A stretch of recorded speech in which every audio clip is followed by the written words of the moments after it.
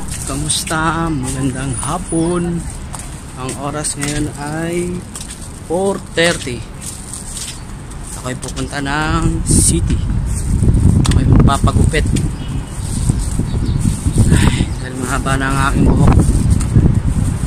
Oh, medyo na ulan yata. Umaambon. Okay, mamaya muna guys ha. Umaambon.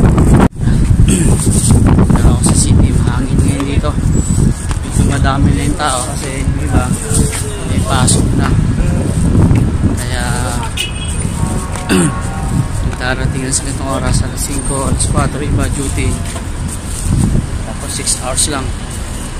Ay ito. Walang masyadong tao pa ngayon hindi kagaya dito pag normal. Walang pulo to ng tao.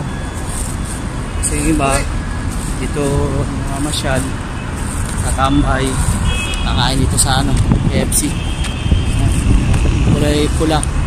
KFC yan. Diba dyan kumakain. Sa palipas ng oras. Kanyang ano escapade para makaiwas sa homesick. Ang ba sarado eh ito. Bintahan ng gold.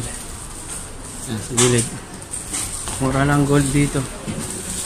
Kaya, ano, yung mga gold. Dito bumibili iba pag babakasyon. Bago umuwi. Pasalubong. Okay, tingnan ulit guys. Okay, bye-bye.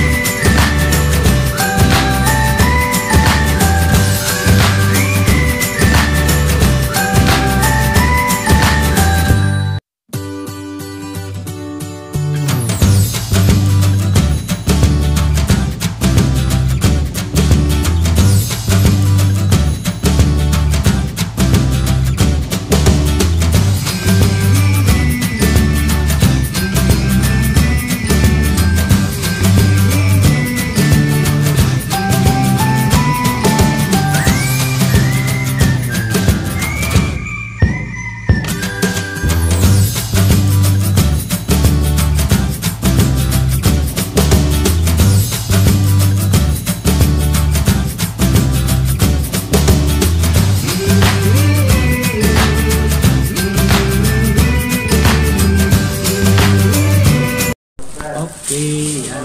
Tapos nang magpagupit. Ang aking buhok yan. Kinaraki ako ng ano, Indian style barber. Okay. Ako'y uwi na. Kaya ito, malapit ng ano, ang hektar. Ganyan sila, pwede na kumain. Kaya, see you again guys. Mamaya ulit. Bye-bye.